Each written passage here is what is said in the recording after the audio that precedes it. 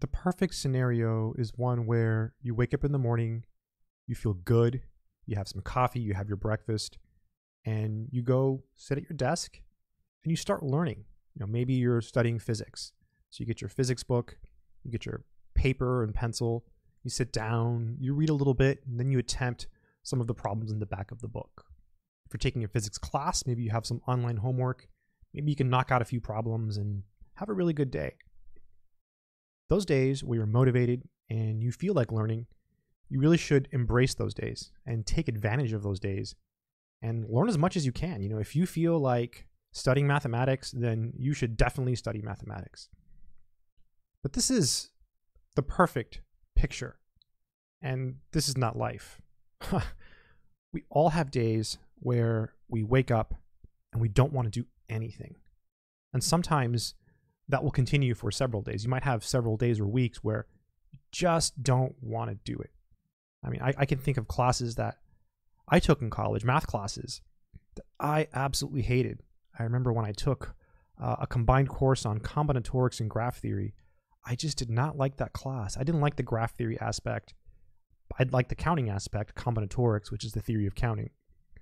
It wasn't until later that I came back to appreciate all of the interesting things that I should have been learning. So in hindsight, you know, I made some mistakes. I should have studied more. I ended up with a B in the class and I probably should have gotten an A if I would have put in the work. So how do you how do you motivate yourself to learn when you're going through one of these slumps? So in this video, I want to talk about that. I want to talk about how you can get yourself to work when you don't want to work. Because if you can do that, you're essentially building discipline. And I genuinely believe that with discipline, you can accomplish a lot, a lot more than you think you can accomplish. Most people can go much, much farther in whatever it is they're trying to learn and they think they can. So let's say you wake up today and you don't really want to study. What are some things you can do to, you know, make you want to study? So a simple mental exercise you can do is the following. Let's say it's 9 a.m. and you have to be at work or you have to be in school by noon. So you've got three hours, you've got to eat breakfast, you've got to get ready. Maybe you want to exercise a little bit. So you don't have that much time. You might have some responsibilities. So you've got a, a three hour gap in your day where you have some stuff to do, but you have some study time too. But you don't want to do it because you're just tired or you just don't really want to study. So how do you get yourself to do it? So Think about this. To think about the future, think about later in the day. Remind yourself of all those times where you were motivated and you did want to study. How did you feel afterwards? You probably felt really successful because you probably looked back on that day and you thought to yourself, hey, I did something that day. I was productive. And, and that's really what you want to do. You want to have that mindset where you can look back at the end of your day and say, did I do enough today? Did I do enough? And you want to you want to have that mindset every day. Every day you kind of want to look back on your day and say, did I do enough today to accomplish my goals? And if you didn't, that's okay. Just make sure you get after it the next day, right? Just get after it the next day. So, in those moments where you feel like you don't want to study, try to have some forward thinking. Think about your future self. You know, later in the day, you are going to look back and you're going to say, "Oh, I wish I would have studied more." And that's that is the feeling that everyone gets when they're in class and they fail a test. You know, I've had it before. I remember driving home. Oh, this is a terrible, terrible one. Driving home from my college algebra final exam. I was driving on a highway. I remember I remember my hand on the steering wheel. And I remember thinking, I failed. I, I didn't I didn't perform. I didn't do enough. And I remember that feeling. And I failed the test because I didn't understand logarithms. And what could I have done? Looking back, I don't really know. I probably should have worked harder. I thought I was working hard at the time, but apparently I didn't work hard enough. I didn't make it a big enough priority in my life. I didn't study when I didn't want to study. I didn't I didn't take advantage of those days where I wasn't motivated. I didn't force myself to work when I wasn't motivated. So, by looking back at the end of every day and kind of asking yourself that question, did I do enough? if you're aware that you're going to have that thought in the future, when you're actually having those feelings of, hey, I don't want to study, you can remind yourself of that fact and say, hey, if I study now, I know that I have done something good that is going to progress my life in a positive way. You know, if you're taking a class, you probably want to study for that class every day. And so by forcing yourself to study, you accomplish your goal. But there's something deeper that happens when you do this. It's it's even it's even more than just the grade. It's even more than just forcing yourself into that uncomfortable position.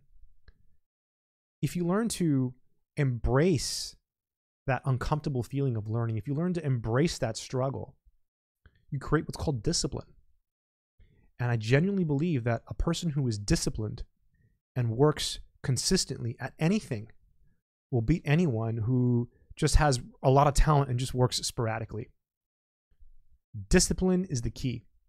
And you build that by working through those uncomfortable moments. It's kind of like you embrace it. It's like you you embrace those uncomfortable periods of learning. You say, I don't really want to study, but I'm gonna suck it up and do it anyways because I know I have to study today. And then when you're done, you can look back and then there's that reward. So you have to keep your eye on the prize, right? If you if you remember that you're gonna have the reward after you push through that uncomfortable moment, it kind of like tricks your brain into into into forcing yourself into that uncomfortable place. But you have to have really good reasons. You do. You have to have reasons for wanting to learn. And if if you don't have those really good long-term goals, if you don't really want to do something, it's okay. I'm not saying you have to want to do something. Some people just aren't that driven. But if you really want something in life, then you can get it. You can get it. You just have to learn to push through those uncomfortable moments. That motivation, that desire to reach whatever goal it is, you know, whether it be learning mathematics, physics, being better at a sport, learning a new language, playing a musical instrument, whatever it is you're trying to do, if you really, really want something, that's going to give you the drive a lot of times to work on those days when you don't want to work. And I, and I believe that discipline, discipline can get you there. If you work consistently on anything every single day, by default, you are working harder than most people. Most people don't work on something every single day. They don't. They don't. They they'll work on it for, you know, they'll have like really intense periods where they work really, really hard and then they'll take a couple days off and they'll get derailed and maybe they'll come back to it in a few weeks. Most people go through these phases where they have ups and downs, ups and downs. It's in those downs that you separate yourself. Working when you don't want to work, right? That is discipline. And it's through that consistency and discipline that you get to the next level. You know, I was I was at the gym the other day and there was this guy there, uh, one of my friends. He's he's a bodybuilder. Guy's huge. He's huge and we were talking. He was he was doing an incline bench press, and he just started talking about you know lifting. He's always he just talks a lot. He's a cool guy, and he was telling me that the most important thing in, in bodybuilding is consistency. You know, you just have to be consistent. You know, on those days when you don't want to go to the gym, you go to the gym, right? It's the same thing with learning mathematics. You know, on those days that you don't want to do math, you just do math. You do it.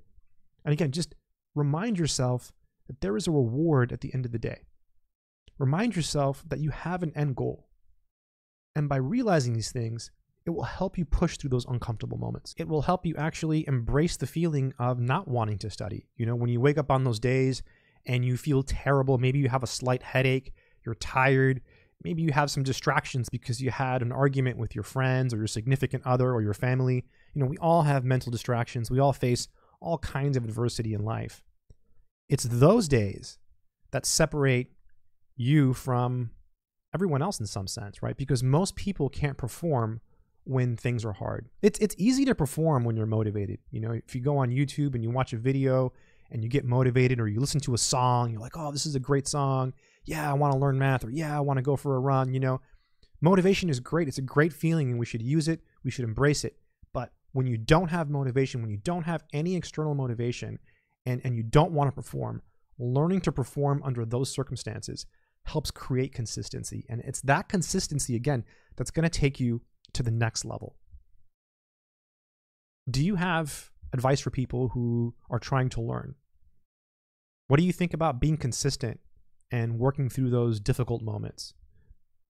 Do you have any interesting stories to share with people here on the channel? Whenever you leave comments, especially cool stories, I think it really helps other people. Lots of people read the comments, and I think I've said this before, but if you think about it, if you post a comment and it gets, say, 15 likes, think about how many people read that comment. And I compare it to a video. If I post a video and it's it's an average video, you know, it, it will get a lot of likes, but it could get thousands of views for only a few hundred likes.